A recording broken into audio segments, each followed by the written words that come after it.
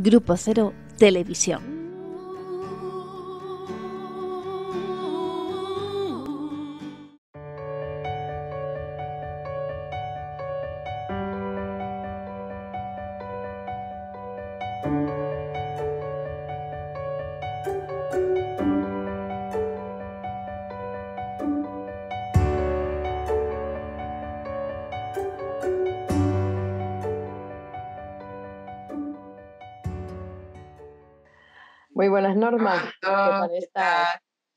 Le va? ¿Qué dice señora? Bien, ah, en nuestro encuentro semanal. Ah, en nuestro encuentro semanal para escuchar eh, tu cuento. Aquí a eso venimos, a eso venimos. Ah, bueno. Bueno. Por eso hemos venido. Este. El cuento de hoy se llama se llama Los esos celos de siempre. Ay, ay, ay, ay, ay, esos celos de siempre, esos celos de siempre.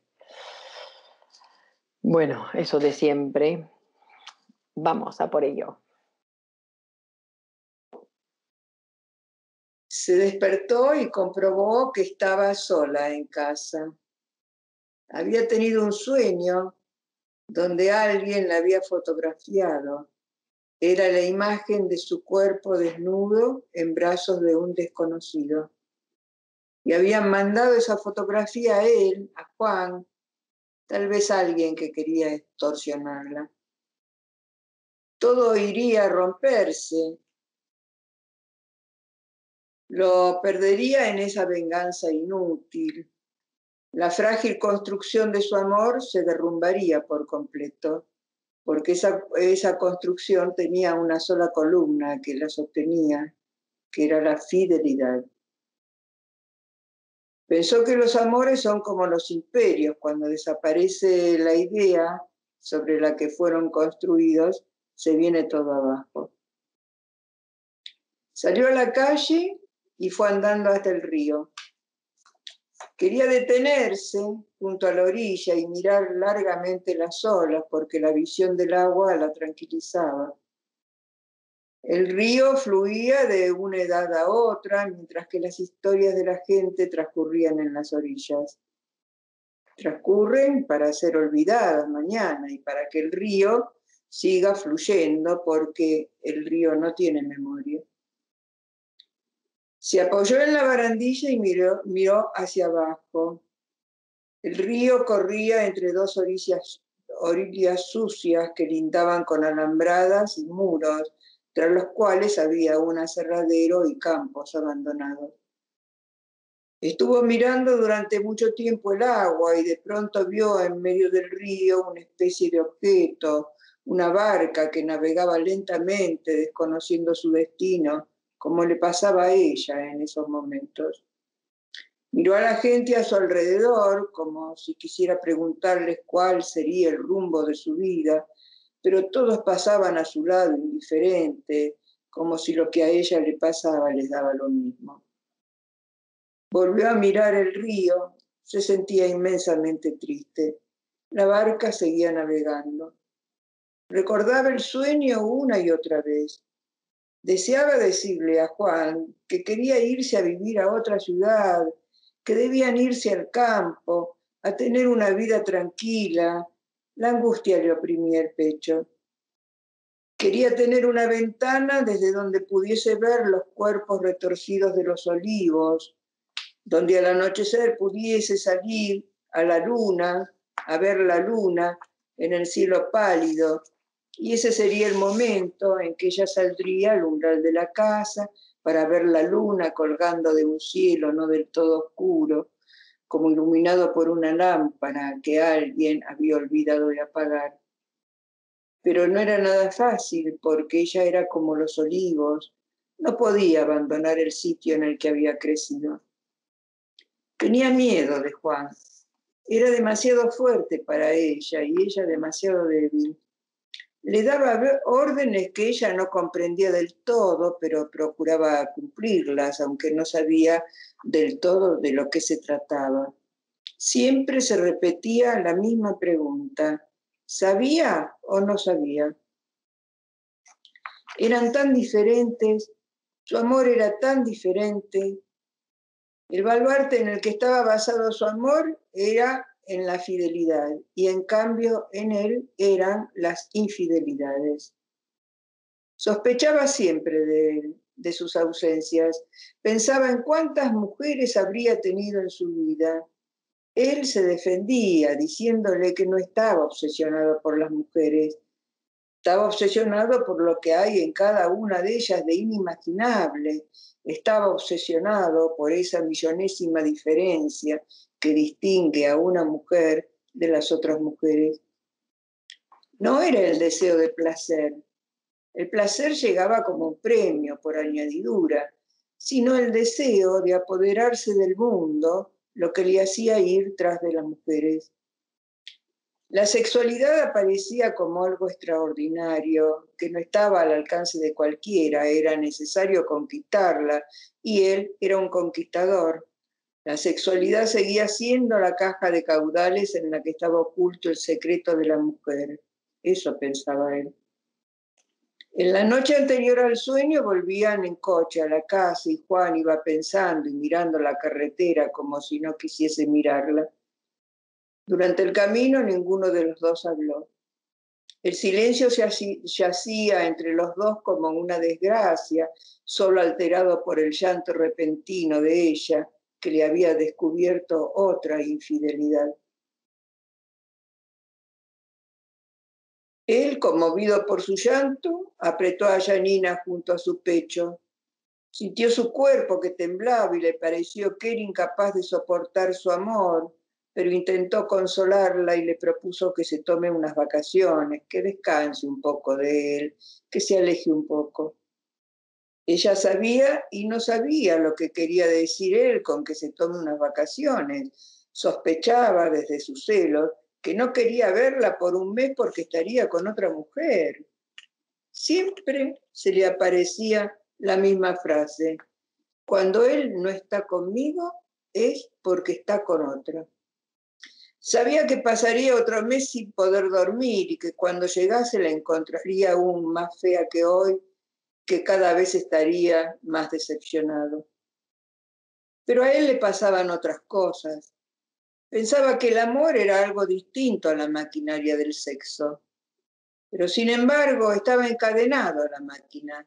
Amarrar el amor al sexo hubiese sido ajustar de otro modo la maquinaria y creyó haber encontrado una, una solución creando una nueva utopía, ir en busca de un paraíso, un mundo donde el hombre pueda amar como quería amar a Janina sin verse interrumpido por la estupidez del sexo, eso que todo el mundo quiere controlar. Apoyada en la barandilla lo vio acercarse. Había ido a buscarla al río. Se acercó sonriendo y le preguntó si había encontrado su otra mitad navegando por el río, por el río con un destino incierto. Ella lo miró desde esa soledad con una mirada de infinita tristeza él no soportó bien aquella mirada. Sintió otra vez el dolor de ella en su propio corazón. No había ningún pedido en su mirada, solo esa quietud que ella imploraba, anular esa diferencia que lo separaba, pero que tampoco quería modificar nada porque ese era el lugar donde él se sentía feliz. Delicadamente cogió aquellas manos nerviosas y las estrelló entre las suyas para calmarla. Él sabía que no abandonaría en ningún momento ese paraíso que había imaginado junto a ella, pero también sabía que era imposible dejar de lado su sexo con otras mujeres, que a ella la amaba, sí, pero que así era su amor. Muy bien, bravo, Norma. Muy bien, ¿eh? Muy bien el cuento. Muy bien, ah, como de, bueno, que suelen ser así también tus cuentos, ¿no? De varias partes, como en varios, varios lugares, varias partes. Y es interesante, digo, porque hay un montón de ideas sobre la relación de pareja, sobre el amor, sobre la mujer, sobre el hombre, el sexo. Sí, sí. Nada, un planteamiento, no resuelvo nada. He recuperado dos personajes de mis cuentos anteriores, que son... Eso es lo que pensaba, sí. ¿No? Es que digo, ah, mira, este es Yanira, y la conozco. Sí, sí, sí, ¿no? Que él era también un mujeriego, una cosa así, ¿no? Que bueno, y, este, y una trama, ¿no? Una cosa de la vida cotidiana en realidad. ¿no? Donde los celos son, son imposibles de descartar, pero ¿cuál es el manejo, no? ¿Cuál es el manejo frente al otro? Que, porque es, en realidad se trataba aquí del manejo de las diferencias. En tanto ella tenía sostenido su amor en la fidelidad, era la columna. Ah, eso que dijiste, ¿no? Que a veces hay parejas que están sostenidas por una idea una idea de lo que es una pareja o de la idea de cada uno dentro de la relación, ¿no? El lugar que ocupa. Y claro, que no se puede movilizar nada porque en cuanto se moviliza es como que... De todo abajo, se rompe ¿no? ajá, interesante, ¿no? Pero eso eran como dos polos opuestos, ¿no? Él con una infidelidad, en tanto él creía en esa libertad sexual, que hace una diferencia, ¿no? que no es, este, él se, plantea también, ¿no? Dejo de estar encadenado al sexo para poder amar, se lo plantea él en un momento, pero no es posible, no puede. No puede. Y él es así, ¿no? Y esa es su manera de, de ese amor, ¿no? Y ella tiene otra manera totalmente opuesta, basada ¿no? La relación basada en la fidelidad. Claro, quizás tampoco, ¿no? Porque cuando, que me llamó la atención el título, ¿no? Esos celos de siempre. Porque también uno en relación con el otro son diferentes, pero claro, que uno frente al otro tiene que modificarse, no puede estar ahí, ¿no? Digo que si le interesa al otro, algún cambio va a ser. Sí, no va a morirse por los celos, ¿no? Ella, ¿Le interesa el chico? ¿No? También llega un momento de desesperación de ella, cuando está ahí sola mirando el río, ¿no? Pensando que a dónde va a ir a parar, como esa barca que pase, que va a la deriva, ¿no? Como si un destino incierto, porque no tiene la seguridad de él, como si también, ¿no? Qué apropiación, como si él fuese su destino, ¿no? Qué trampa los celos, ¿no? Los celos en la pareja es una trampa total, ¿no? Porque claro, parece, y que ella, ¿qué sexualidad tiene? Que solamente es una sexualidad toda entregada a él. O su sexualidad es desear ese, esa otra mujer que él desea sin reconocerlo jamás. Sí, es complejo, es complejo. Hay que poder movilizar esas fuerzas ahí de los celos, hay que poder eh, movilizarlo, ¿no? Digo, porque son que el otro no me pertenece, qué sé yo, es como... Él tiene otra manera de pensar también, ¿no? Y se siente toda pulsión, ¿no? Que no puede, no puede con eso. Porque él dice, porque no es por él, no es por, por la satisfacción, por el placer. El placer viene como un agregado. Él quiere descubrir lo que es una mujer. Eh, eso es lindísimo en el cuento, eso es lindísimo. Hay toda tu reflexión ahí sobre lo que para él, ¿no? Sobre lo que es la mujer, que cada una es diferente. Eh, esa pulsión que en cada una hay y está lindísimo. Bueno, así es y ella lo quiere apartar de toda esa vida y llevárselo al campo. Y este en el campo me parece que no sobrevive, ¿no? Bueno, se tiene que transformar, ¿no? Porque o es él que se transforma para darle el gusto a ella y entonces pierde una parte de su vida, ¿no? Renuncia a una parte de su vida. Sí, pero, viste, la pulsión no, no se puede dominar tan fácilmente. Bueno, pero además la, la colocas en otro lugar. No, pero él tiene un interés puesto ahí. Él quiere saber el misterio de lo femenino. Cree que lo va a encontrar ¿eh? en muchas mujeres, a ver cada una, ¿no? Cada una, a ver si entre todas arma una mujer, pero la búsqueda, él tiene la búsqueda puesta afuera, ¿no? Bueno, espero que con la ayuda de los telespectadores ¿no? y los lectores, el tipo siga su investigación y que no caiga en, la, ¿no? en el deseo de ella, de la cárcel, que sería el campo para él, ¿no? Digo que con nuestra ayuda, con el deseo de otros, quizás pueda tener ahí... También es una pulsión querer este, encarcelarlo o atarlo al otro, ¿no? Es la misma pulsión al revés. El otro que no quiere atadur va, acepta el amor de ella, niña, pero de esa manera, teniendo otras mujeres, ¿no? Una sexualidad. Este, más libre para él, ¿no? Bueno, está, está buscando, está buscando. A ver qué pasa el próximo día.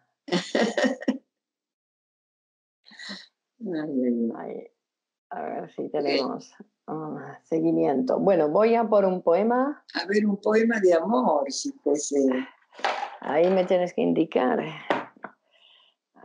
Mm, porque poemas de amor tenemos, eh, tengo... plena penumbra.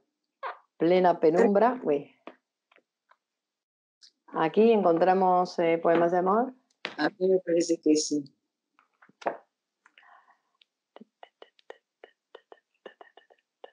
Ah, hay uno que se llama Amor, no estás. Ah, sí me acuerdo, que me gusta mucho. Amor, no estás y me quedé mirando los círculos concéntricos del guijarro arrojado a la laguna, y te busqué en el mismo centro sin hallarte, ni encontrar los límites donde pudiera profanarte. La noche se ahuecó para escribirte palabras imposibles, sin caídas. En el final de este viaje con gusto de despedida. Cierro los ojos mientras te alucino persiguiendo los ruidos de mis pasos donde cruje nuestra historia, en esas aceras pisoteadas que recuerdan la invulnerabilidad de ciertas almas frente a temores de vivir a punto de estallar en una casa abandonada. Ay, qué distancia enorme se interpone y no escucho mi nombre en tu llamada y no sé cómo romper la hoja de papel que sabe a profecías y a sueños desconocidos, donde se rompen todos los perfiles y avanzo hacia el vacío blanco donde arde mi amor y el cuerpo cae como un racimo de uvas en la violencia del verano. Estaba en mi casa y te esperaba en una línea horizontal que se extendía hasta las respiraciones de la noche. Solo perfumes y recuerdos. Una sílaba será la encargada de reorientar al pájaro perdido en medio de catástrofes y solo encuentro mi espalda en los espejos.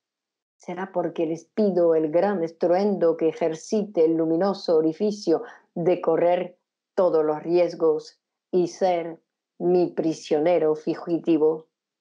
Yo también me detuve a un paso tuyo mi imagen separada quedó junto a tus ojos y giré la cabeza hacia otro lado para ocultar una inocencia a punto de perderse, dejando al descubierto a una niña desnuda que miraba la vida desde un curioso espectáculo de lágrimas y silencios.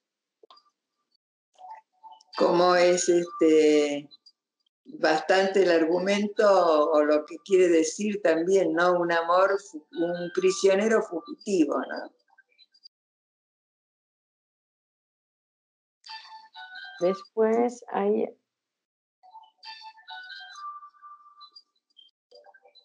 Ah, vamos a ver, aquí tenemos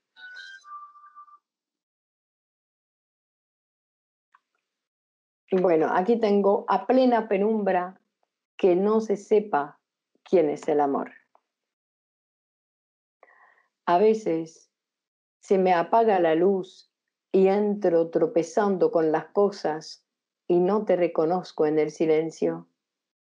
La noche se hace grande y solo un astro que cada tanto se pega a mi ventana ilumina la única cama que habitamos. Nos habíamos mirado en el espejo carbonoso de las vejaciones y ocultado el ardor en la piel que empalidecía en el sepia de un descanso sin gestos.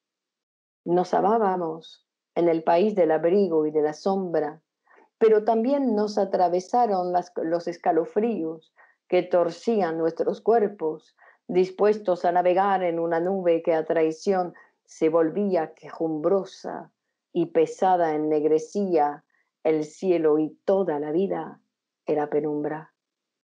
No habíamos proferido en voz alta nuestros nombres y sin embargo se incrustaban en las paredes las letras como trozos de jade. El amor era una carta escrita desde un país lejano, luminoso, una torre incendiada que iluminaba de azul en raras ocasiones el ángulo en que se abrían en dos nuestros caminos, por los que avanzábamos cada cual a su modo, escuchando crepitar bajo los pies las hojas de innumerables nervaduras, que desprendidas ya nada tenían que ver con el árbol, eran solo testigos de ese inmenso temblor, tan parecido a nuestro temblor en donde crecíamos y esperábamos la hora en que otra luz, una luz de sol inaugurase otro tiempo en el que pudiésemos mirarnos un poco. Amor, ¿no? Qué bonito, qué bonito. Quiero liberarme. Tu rojo tenía de sangre algunos sentimientos y en tales circunstancias el amor moría en un trono de fuego entre las furias de un látigo y cantinelas repetidas que bramaban en espejismos con color de brasas.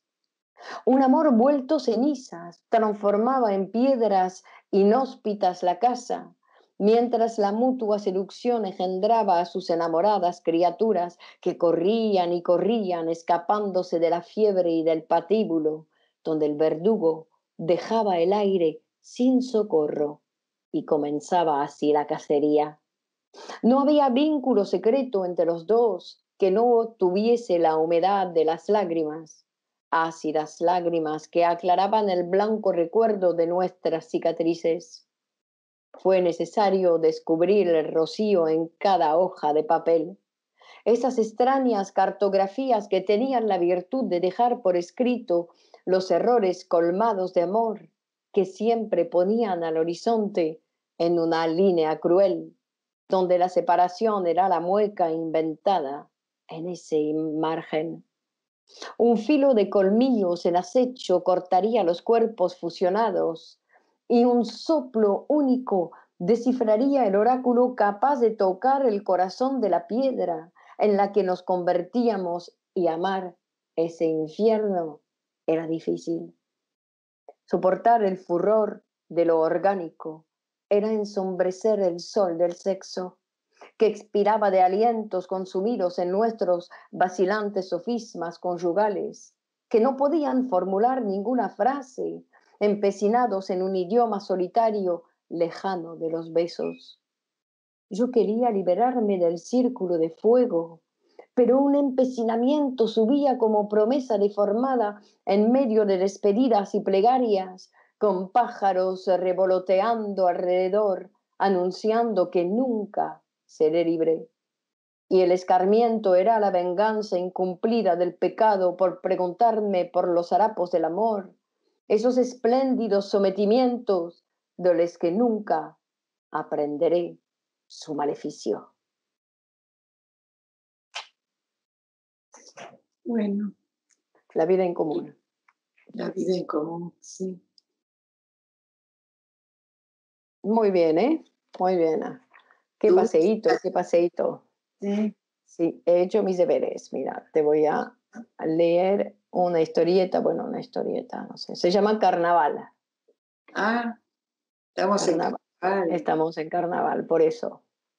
Entonces, dice, Invirtiendo el orden natural de las cosas, el día de carnaval, Juan se había llenado de campanillas, un pirata de campanillas. Anunciaba sus movimientos, sacudía tobillos y muñecas y saltaba gritando, va a llegar, llegará, llegará, llegará. Y su compañero, el cuervo insensible, con la bota cantina bajo el brazo, llegará, llegará, gritaban a dúo. Y tomando una melodía arabesca, seguían en voz bien alta, cuando la orilla del poder cambie de parecer y quede como un abismo hueco, llegará llegará. Y giraban, giraban. El tumulto estaba preso de la presencia. Llega la idea de acción y las campanillas danzarinas saludando la apertura de la fiesta. Cuando el tiempo se divierte en su propio instante y reparte la salina alegría del océano, cuando la historia se burla de su trayectoria tan desplegado el disfraz que concurren el neciente y el pudiente, es día de ataque blanco. Y dale, gira para bailar, renovemos a la vieja muerte con el triunfo del reverso, palanca de la flor, tinte de carnaval. Llegará, llegará. Algún día llegará. Algún día llegará, exacto, algún día llegará. Muy bien. Así. así vamos. Y la muerte del carnaval, ¿no? Muy bien. Así que una historieta, vamos ahí. Bueno, muy bien. ¿Y escribiste un poema también? Sí, te lo leo. Sí. Ese, mira, ese es muy raro. Bueno, raro, diferente. Se llama Aquel aroma aquel aroma, aroma, aroma, aroma, Sí. No estamos en Roma, estamos en el aroma. Aquel aroma. Dime dónde soltar la hoja de tu cuerpo, dónde sembrar la amapola, la brisa trémula. Si la luz como un tallo se yergue, alcanzando el aroma de la estrella, mañana Dime de esa permanencia que encaminándose en la noche abarca el círculo de la boca completa, voz de remos, redondeando las criaturas que se aman, cerrando las cuevas. Caminos que anudan las pieles a la mano última, que llega siempre sobre las cosas libres de espuma y arrastra, bienvenido, el rocío columpiándose belleza del horizonte, honda pestaña, abriendo aquel aroma. Bien, muy bien, muy bien, muy bien. El aroma, ¿no? El aroma. Ah.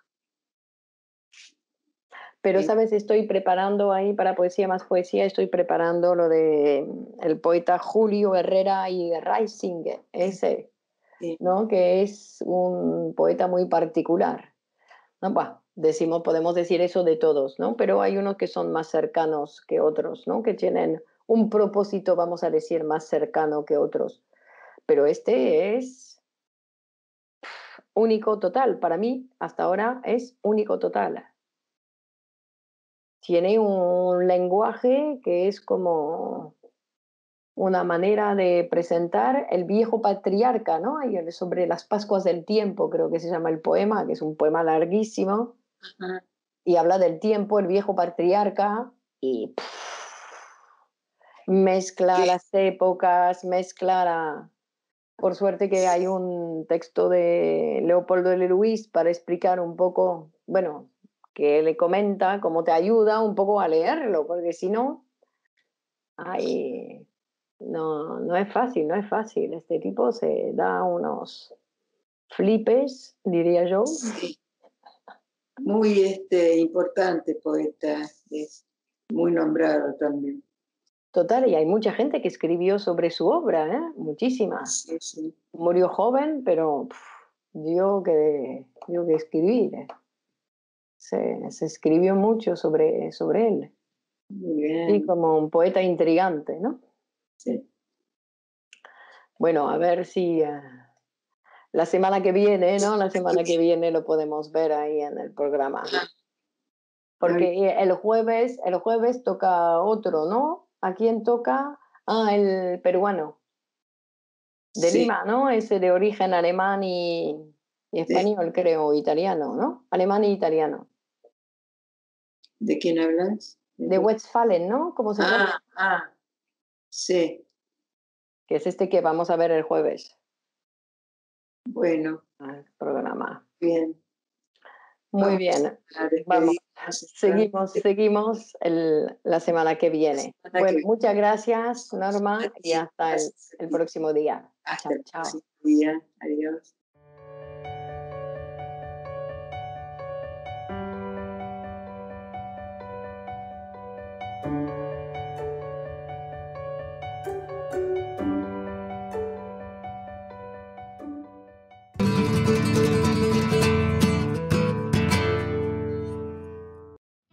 ¿Sabías que para psicoanalizarse no hace falta estar enfermo?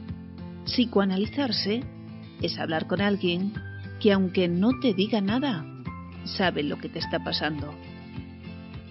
Departamento de Clínica Grupo Cero. Somos especialistas en psicoanálisis. Te atendemos en Madrid y también en nuestras consultas online. Llama al teléfono 91 758 1940.